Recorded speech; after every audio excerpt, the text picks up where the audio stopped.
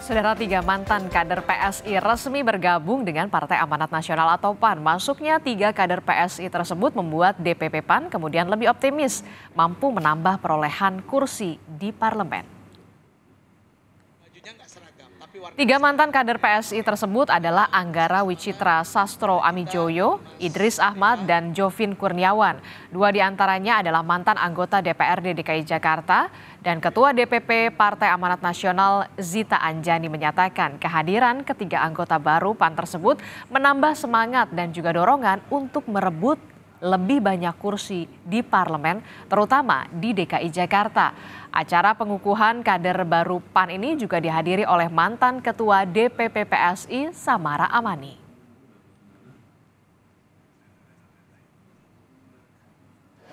Tentu, tentu kita di PAN DKI kita punya target 15 kursi dengan masuknya Ara, Idris dan juga Jovin tentu menjadi semangat dan apa ya kayak dorongan semakin yakin gitu loh. Insya Allah 15 kursi itu di 2024 PAN DKI bisa bisa raih.